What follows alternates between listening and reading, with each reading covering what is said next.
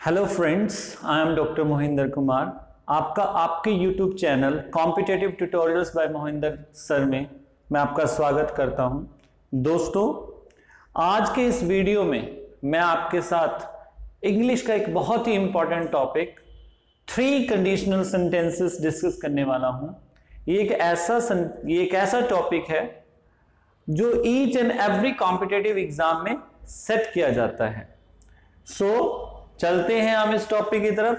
Three conditional sentences so in English there are three conditions they are called open condition imaginary condition and rejected condition so सबसे पहले हम चलते हैं पहली condition की तरफ़. पहली कंडीशन को हम कहते हैं ओपन कंडीशन इसे हम एक और नाम से भी बुलाते हैं. इसे हम डबल फ्यूचर भी कहते हैं। Open condition first of all आपको पता होना चाहिए ओपन कंडीशन का what's the meaning of open condition open condition means कि काम हो भी सकता है और नहीं भी। इसलिए हम इसे ओपन कंडीशन कहते हैं। इसे हम डबल फ्यूचर इसलिए कहते हैं क्योंकि इसमें जितने भी दो क्लोजेज होते हैं वो दोनों फ्यूचर को इंडिकेट करते हैं। जस्ट मैं आपके साथ एक एग्जांपल शेयर करना चाहूँगा। जैसे हम कहते हैं कि अगर मैं बाज़ार में जाऊँगा तो मैं ये चीज़ खरीदूँगा। Now this is an open condition देखो, दोनों क्लोजेस फ्यूचर में है। ओपन इसलिए है क्योंकि इसमें काम हो भी सकता और नहीं भी। मैं चीज़ कब खरीदूँगा? जब मैं बाज़ार जाऊँगा। और अगर मैं बाज़ार नहीं गया तो चीज़ नहीं खरीद पाऊँगा। इसलिए इसे ओपन कंडीशन कहते हैं। ये बहुत इंपॉर्टेंट कंडीशन है. It's very important topic in English अब इसमें लगाते हैं क्या? बहुत सिंपल है. सेंटेंस क्योंकि कंडीशन है तो सेंटेंस हमारा इफ़ से शुरू होगा. इफ़ के बाद हम क्या लगाते हैं? हमेशा प्रेजेंट इंडेफिनेट टेंस लगाते हैं. अब प्रेजेंट इंडेफिनेट टेंस को याद करना बहुत इजी है. प्रेजेंट इंडेफिनेट टेंस में क्या लगता है? वर्ब की फ़र्स्ट फॉर्म वर्ब की फ़र्स्ट फॉर्म के साथ क्या लगता है? एस और ई एस लगता है. फ़र्स्ट फॉर्म किसके साथ लगती है? आई एन प्लूरल के साथ। प्लूरल का मतलब होता है बहुवचन। बहुवचन मींस मोर देन वन एक से ज़्यादा। And first form of verb plus S लगती है विद सिंगुलर के साथ। ये पैटर्न हम यूज़ करते हैं असर्टिव सेंटेंसेस में, या सिंपल सेंटेंसेस में। अगर हम बात करें प्रेजेंट इंडेफिनेट में नेगेटिव सेंटेंस की तो नेगेटिव सेंटेंस में हम क्या यूज़ करते हैं? Don't doesn't plus V one don't हम किसके साथ लगाएँगे? आई एंड प्लूरल के साथ लगाएँगे। डजेंट हम लगाएँगे सिंगुलर के साथ।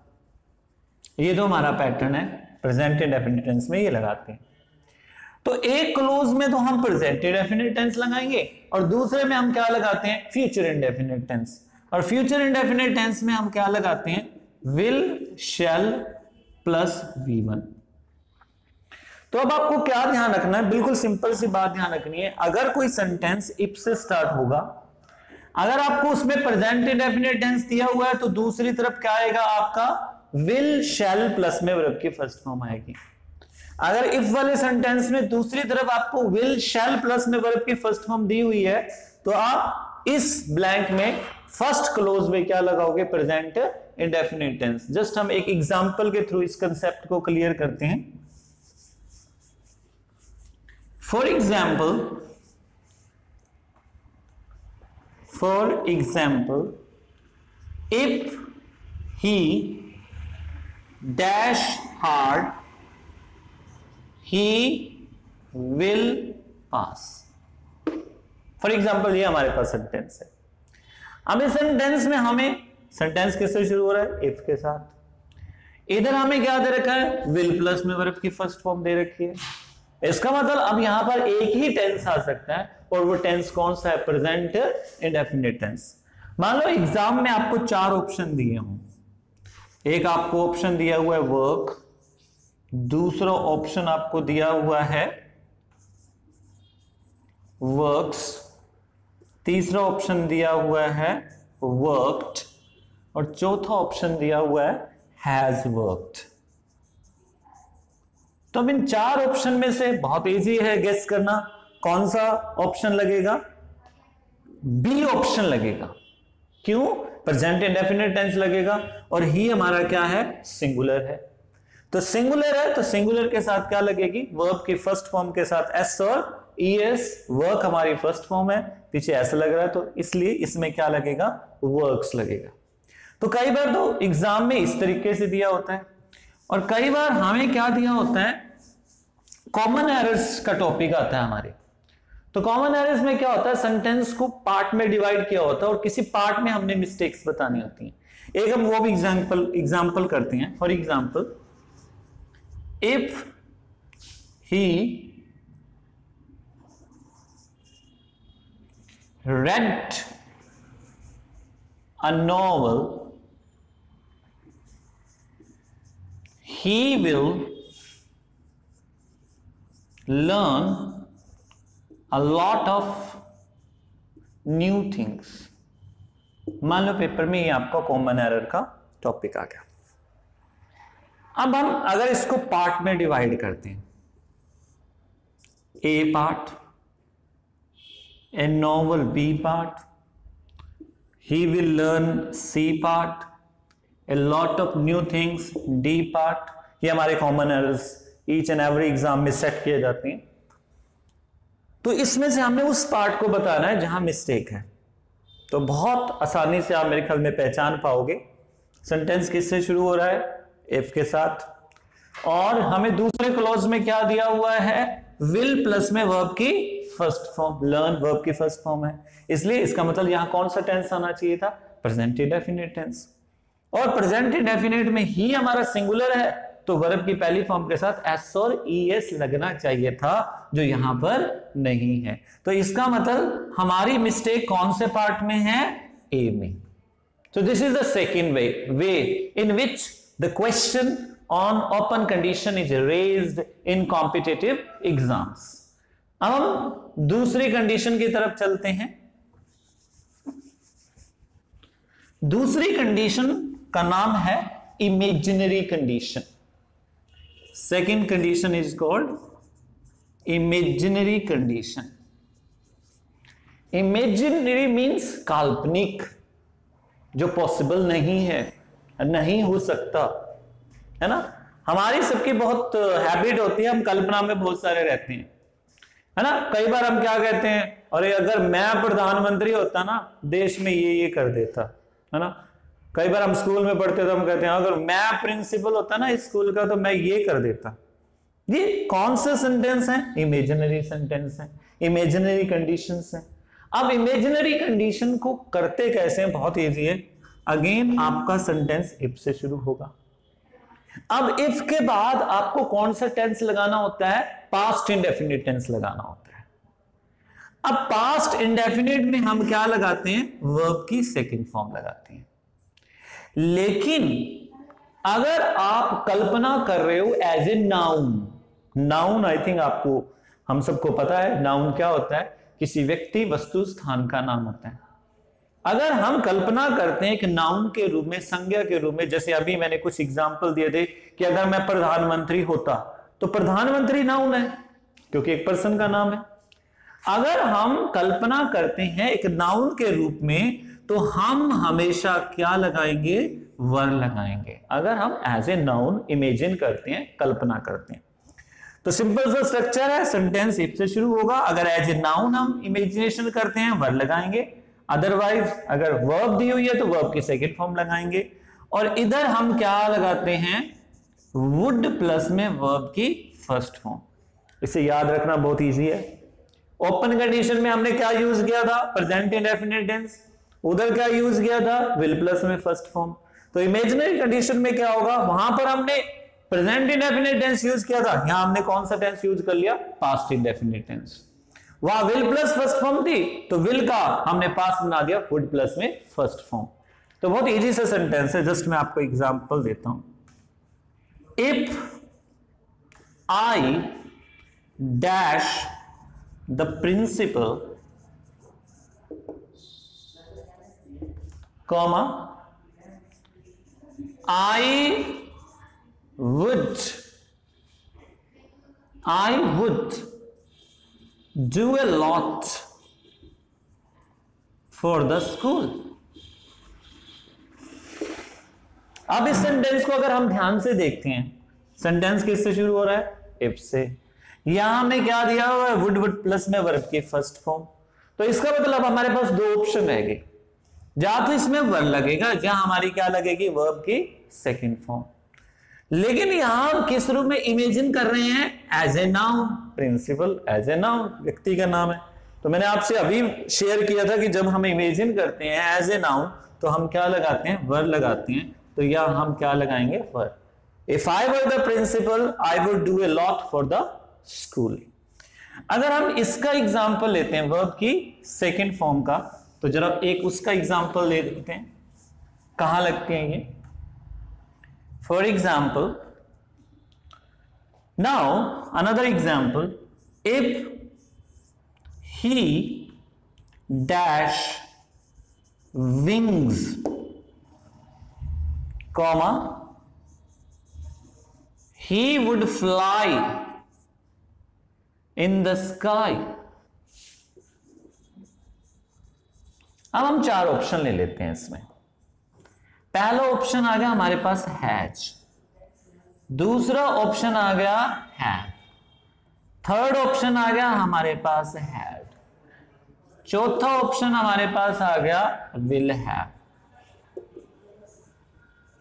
अब हम यहाँ पर क्या लगाएँगे? वर्ब की सेकेंड फॉर्म अब यहाँ पे वर्ब की सेकेंड फॉर्म कौन सी है? हैड हैड किसकी सेकेंड फॉर्म है? हैव की. हैव मैंने होना होता है हैव हैड हैड तो यहाँ हम क्या लगाएँगे? वर्ब की सेकेंड फॉर्म हैड लगाएँगे। तो इट्स वेरी इजी आपने क्या ध्यान रखना है? अगर सेंटेंस इफ़ से शुरू होता है, उधर अगर हमें वुड प्लस में फ़र्स्ट फॉर्म दिया हुआ है सेकंड क्लोज में क्लोज वाले टॉपिक को हम बाद में डिस्कस करेंगे। तो हम यहाँ पर क्या लगाएँगे? हमारे पास टू ही ऑप्शन रहेंगे। या तो हम वर लगाएँगे या हम सेकंड फॉर्म लगाएँगे। वर हम तब लगाएँगे? जब हम इमेजिन करेंगे एज ए नाउन के रूप में, जैसे हमने प्रिंसिपल इमेजिन किया था। और जब वर्ब दी होगी तो सेकेंड फॉर्म लगेगी। This is your second condition that is imaginary condition अब हम चलते हैं तीसरी कंडीशन की तरफ़, जो सबसे इंपॉर्टेंट है और maximally most of the cases in most of the exam this condition is set and this is called rejected condition. We are going to discuss the third condition and third condition is called rejected condition rejected condition इसे हम एक और नाम से भी जानते हैं rejected condition को और कंडीशन ऑफ़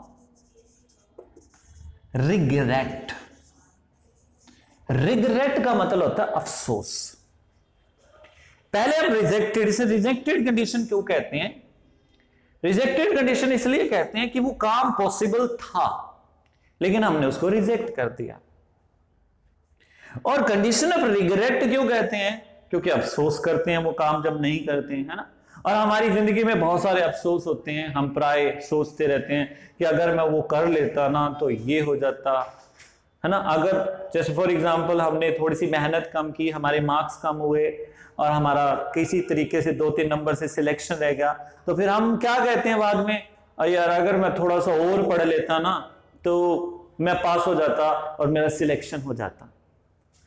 तो इसे हम रिजेक्टेड कंडीशन मीन्स काम पॉसिबल था। हम सिलेक्शन करवा सकते थे, अगर हम थोड़ा सा और पढ़ते, लेकिन हमने रिजेक्ट कर दिया। रिग्रेट इसलिए कहते हैं, अब अफसोस हो रहा है, क्योंकि हम नहीं पढ़े तो हमारे अच्छे मार्क्स नहीं आए। तो इसमें बड़ा सिंपल सा पैटर्न है। अब इसको भी क्या ध्यान रखना है? सेंटेंस हमारा इफ़ से शुरू होगा।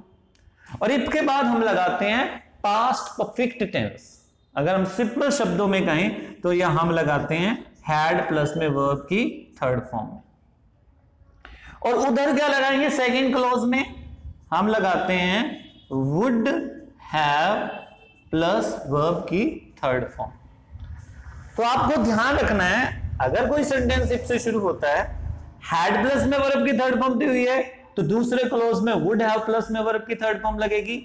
अगर इफ़ से कोई सेंटेंस हमारा स्टार्ट होता है और दूसरी क्लोज में वुड हैव प्लस में वर्ब की थर्ड फॉर्म दी हुई है तो यह हमारा क्या लगेगा? हैड प्लस में वर्ब की थर्ड फॉर्म लगेगी। This is the most important condition out of three conditional sentences first one important and this is the third one ये मैक्सिमम सेट की जाती है, यहीं से एग्ज़ाम्पल सेट किया जाता है। जरा हम एग्ज़ाम्पल की तरफ़ चलते हैं, आपको क्लियर करते हैं। For example if I dash hard बड़ा सिंपल सा एग्ज़ाम्पल लेंगे आपको समझाने के लिए।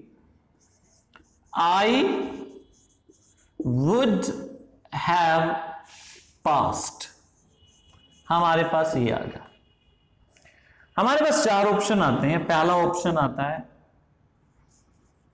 वर्कड दूसरा ऑप्शन आता है had worked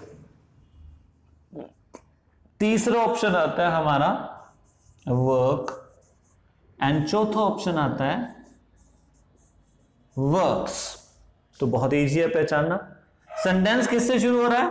इफ़ के साथ। यहाँ में क्या दिया हुआ है? वुड हैव प्लस में वर्ब की थर्ड फॉर्म तो इसलिए यहाँ पर हमें एक ही टेंस आएगा past perfect tense means had plus में वर्ब की थर्ड फॉर्म लगेगी। और हैड प्लस में वर्ब की थर्ड फॉर्म हमारा कौन सा ऑप्शन है? सेकेंड तो दोस्तों, मैं आशा करता हूँ कि आपको यह वीडियो पसंद आएगा।